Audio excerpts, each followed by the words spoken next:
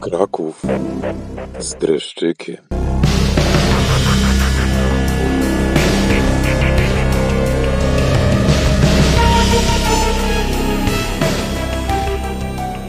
Wampir Karol Kot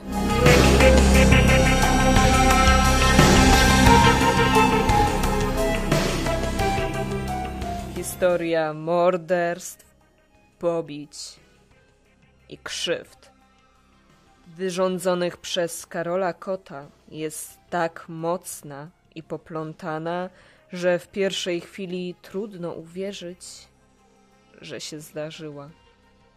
Trudno się w niej połapać. Jest to historia bardzo mroczna, po ludzku trudna i pełna bólu. Z jednej strony można mieć wrażenie, że powiedziano w tym temacie już wszystko, z drugiej wciąż opowiada się ją jakby na nowo. Oto młody, inteligentny chłopak z dobrego domu, który stał się seryjnym mordercą. Siał psychozę strachu w sennym, spokojnym i cichym Krakowie lat 60. XX wieku, a z wyglądu taki niewinny. Był niewysoki, miał ciemne włosy i okrągłą twarz. Wspominały te z ofiar, którym udało się przeżyć napaść. To, w jaki sposób zabijał, bezwzględnie i bez motywu, dla samej satysfakcji zabijania, sprawiło, że stał się legendą elektryzującą Kraków po dziś dzień. Tak wspominał początki swojej zbrodniczej działalności. Gdzieś około 1960 roku lub 1961 powstała u mnie, nie wiem skąd, myśl, że mógłbym dźgnąć kogoś nożem. Noża używałem do zabijania żab, zabiłem też tym nożem kreta. Zabijałem tym nożem kury, kiedy widziałem, że ktoś z sąsiadów zamierza zabijać drób, to wówczas ja prosiłem gospodarzy, sąsiadów, by pozwolili mi zabijać. Czasami nawet piłem krew. Zaczął swoje zeznania Karol Kot. Przejawiał niezdrową fascynację krwią i nożami. Jak zeznał, Łącznie miałem około pięciu noży. Nożami, które posiadałem, rzucałem w domu do deski, w klubie do blatu, a na woli justowskiej do drzewa. swoje sadystyczne myśli zaczął wcielać w życie 21 września 1964 roku. Wtedy to pobił i zranił kobietę w kruchcie kościoła Sercanek przy ulicy Garncarskiej. Było południe. Jak podaje Krzysztof Jakubowski w książce pod tytułem Kraków pod ciemną gwiazdą, 48-letnia Helena Węgrzyn, pracująca w charakterze pomocy domowej przy ulicy Wenecja, jak niemal każdego dnia weszła do kościoła, by pomodlić się w przedsionku. Kiedy w skupieniu klęczała, kątem oka zauważyła młodego człowieka, który właśnie opuszczał kościół. Po chwili usłyszała szelest i poczuła silne uderzenie w plecy. Upadając, zdążyła jeszcze dojrzeć wybiegającego mężczyznę.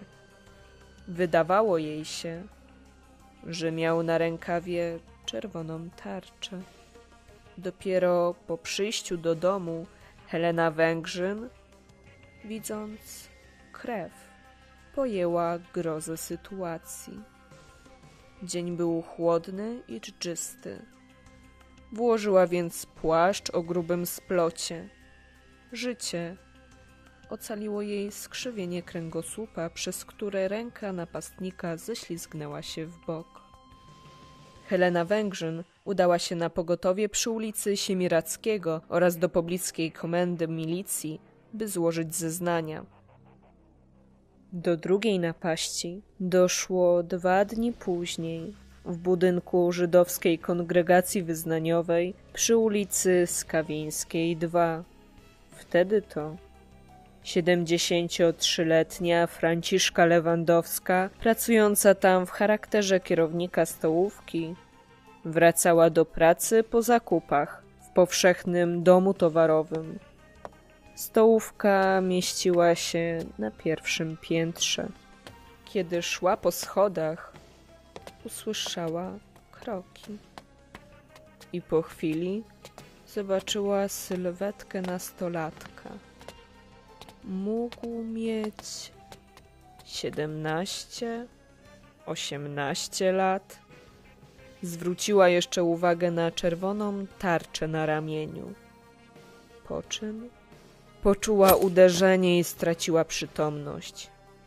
Gdy się ocknęła, pomogli jej wstać przypadkowo przechodzący mężczyźni, którzy zawiadomili milicję i pogotowie. Trzeci napad miał miejsce 29 września wieczorem. Wtedy to w przedsionku klasztoru prezentek siostry zakonne znalazły ranną 77-letnią Marię Plichtę. Kilka godzin później kobieta zmarła w szpitalu imienia Ludwika Biernackiego. Obecnie nosi imię Bonifratrów. Po tych wypadkach w mieście zapanowała psychoza strachu. Zaczęto mówić o wampirze z Krakowa.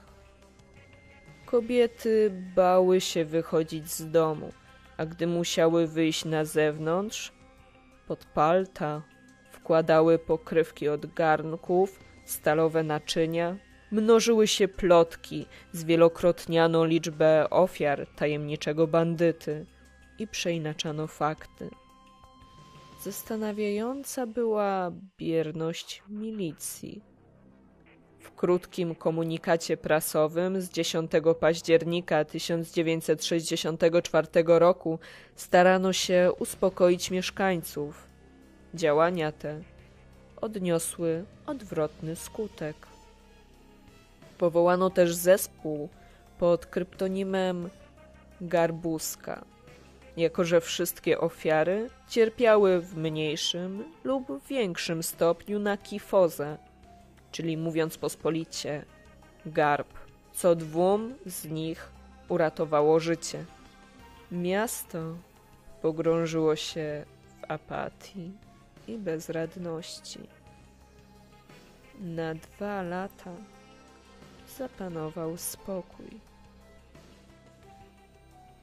Jeśli w ogóle zbrodnie można stopniować, to najbardziej dotkliwym, brutalnym i mrożącym krew w żyłach czynem Karola Kota wydaje się jego czwarty atak, czyli zabójstwo jedenastoletniego chłopczyka, Leszka Całka.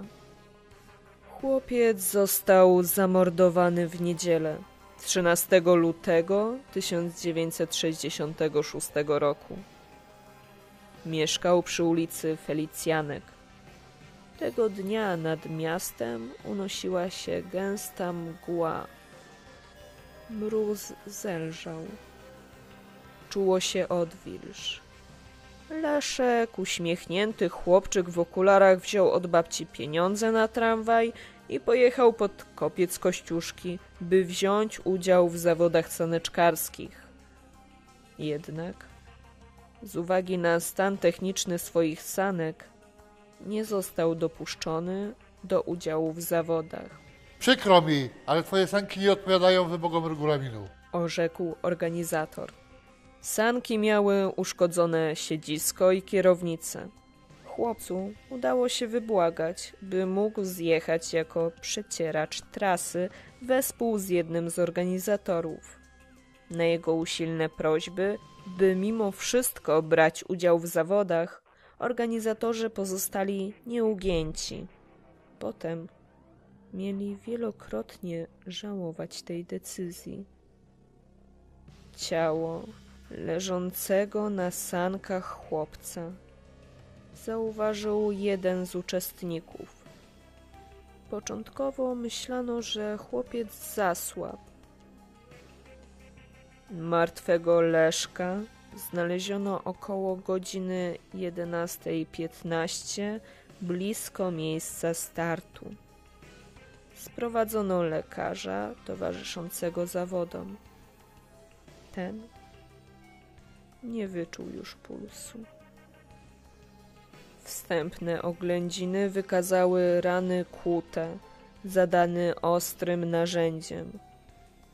Jak podaje Krzysztof Jakubowski w książce Kraków pod ciemną gwiazdą, natychmiast zarządzono blokadę okolicy i zaczęto przeczesywać teren. W poszukiwaniu śladów zabójcy wzięło udział stu milicjantów.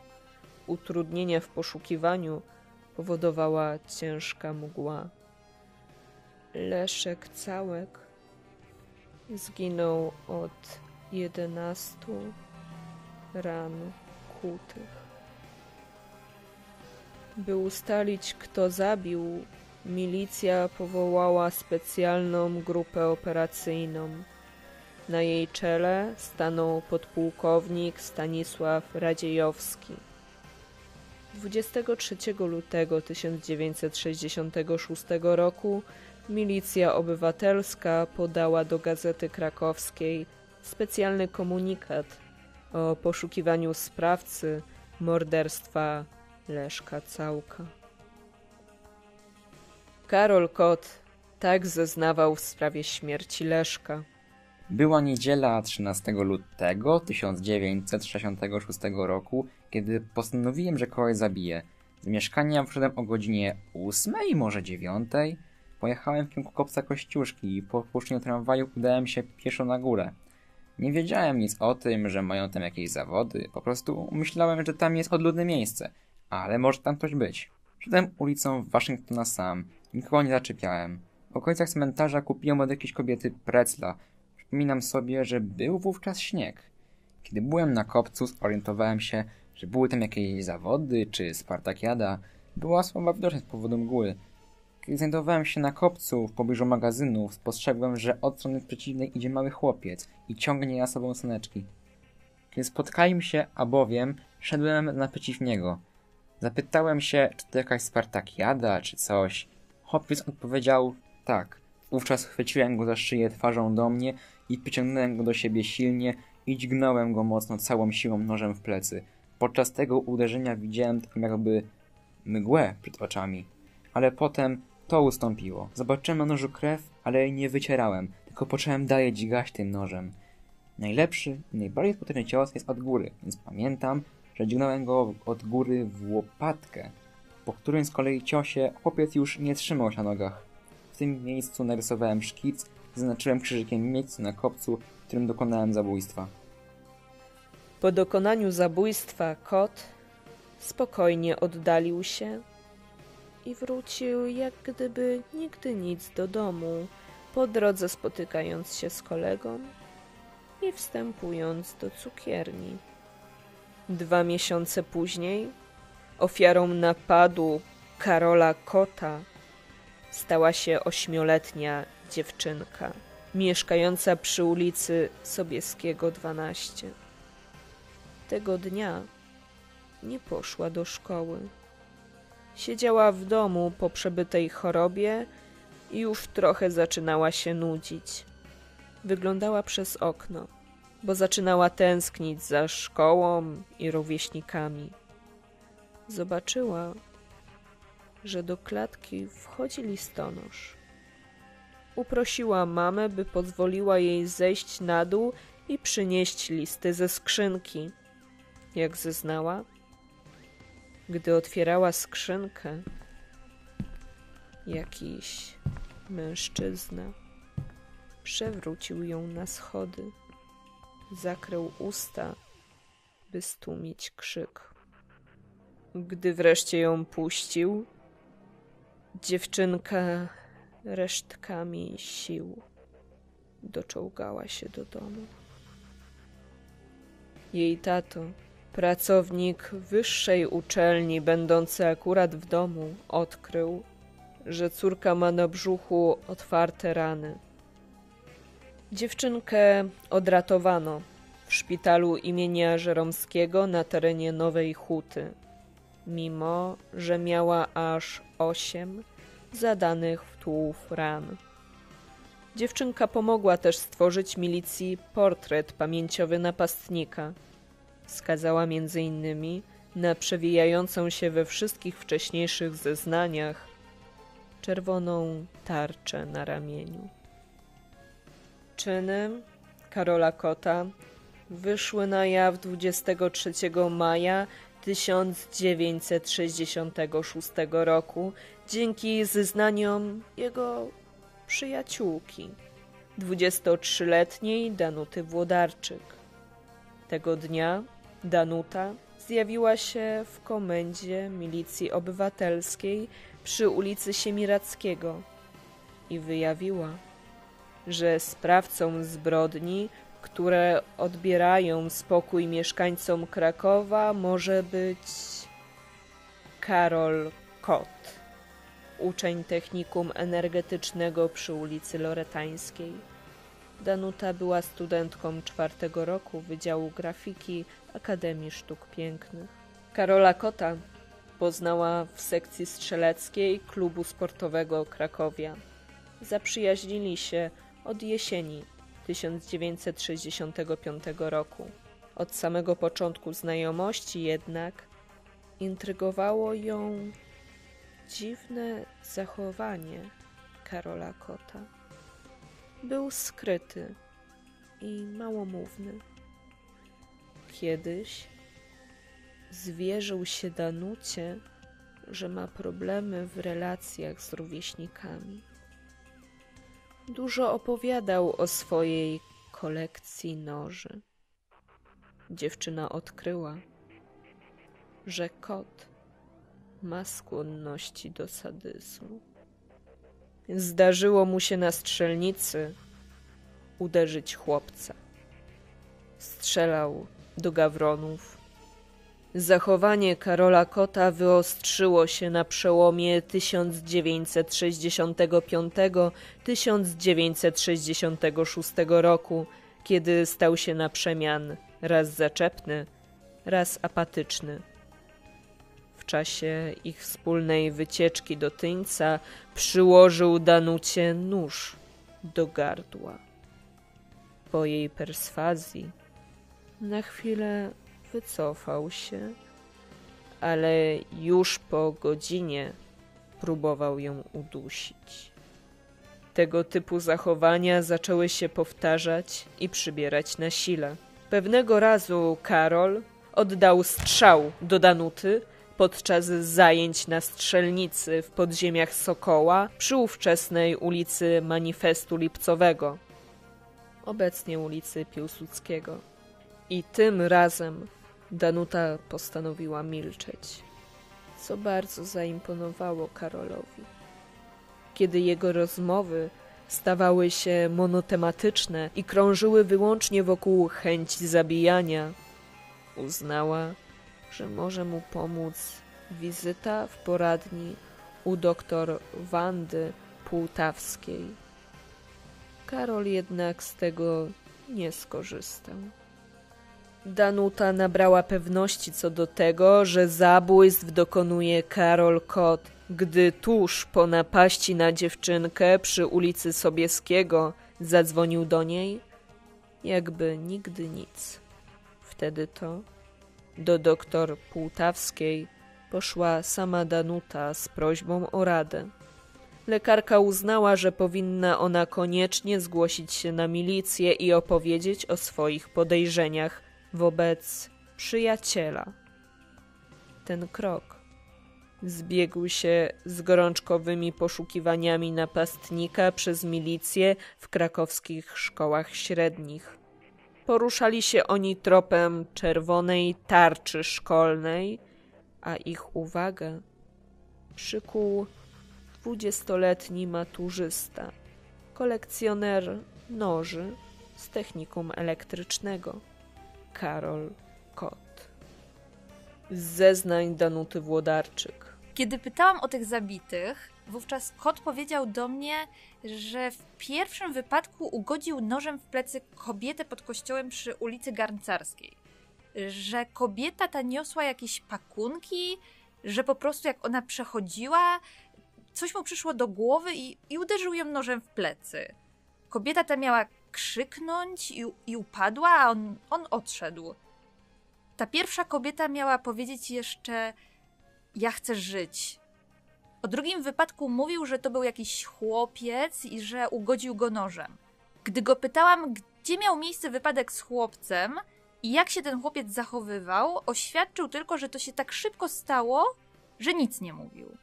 Wspominał również, że w pierwszych dniach po takim wypadku czuje trochę strachu, a kiedy go pytałam, czy czuje jakieś wyrzuty sumienia, oświadczył, że chyba jeszcze coś czuje, ale to, co czuje, jest tak nikłe, że w ogóle do niego nie dochodzi. Kot wspominał mi jeszcze, że w nim wzbiera się taka jakaś dziwna siła, która nakazuje mu coś takiego zrobić, co on, co on musi, musi wykonać, i że kiedy już spełni ten czyn polegający na wbiciu komuś noża, wówczas odchodzi uspokojony, uwalnia się od uczucia nakazu i nie wraca myślą do ofiary.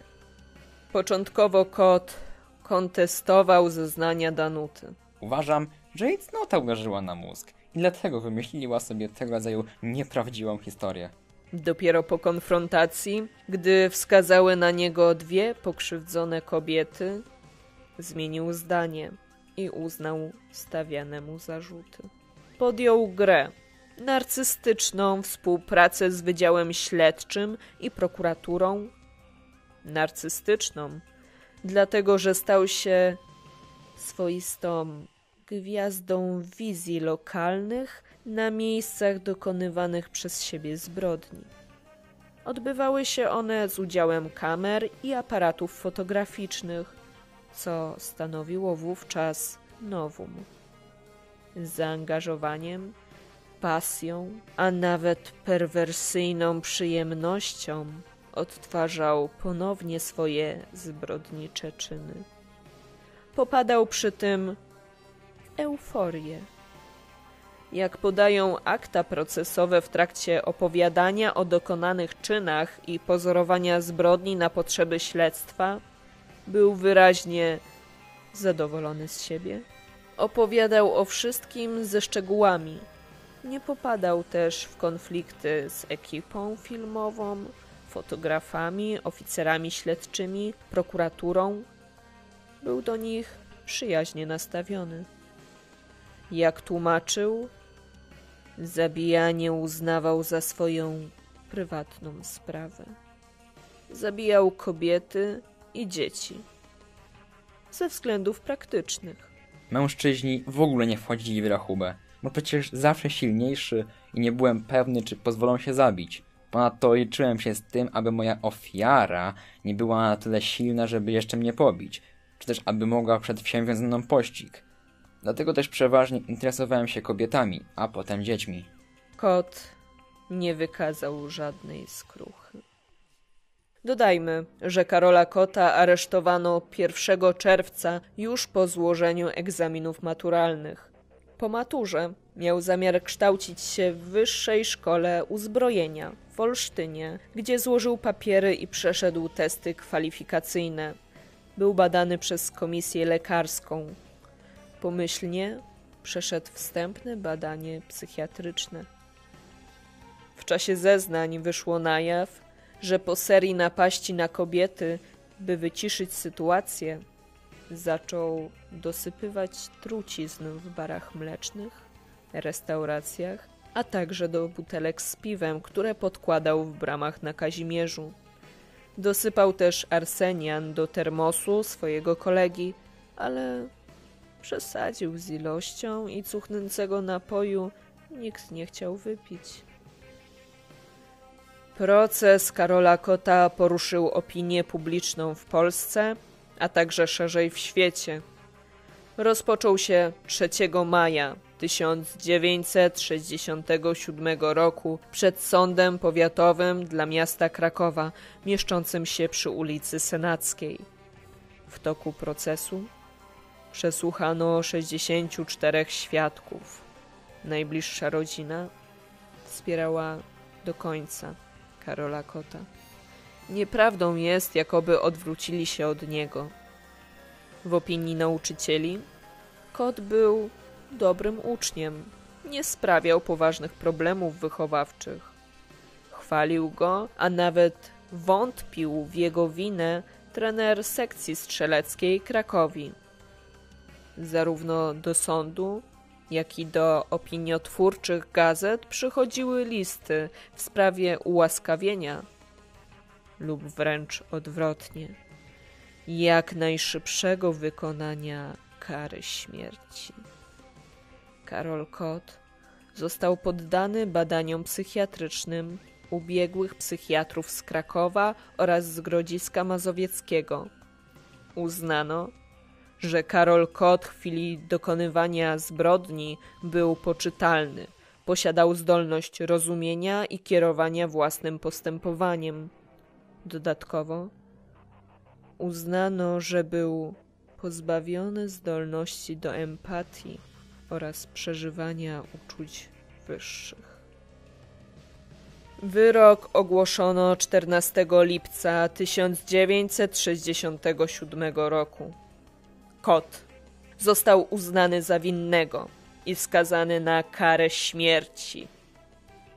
W wyniku odwołania 22 listopada 1967 roku Sąd Najwyższy jako sąd drugiej instancji zamienił karę śmierci na karę dożywotniego pozbawienia wolności.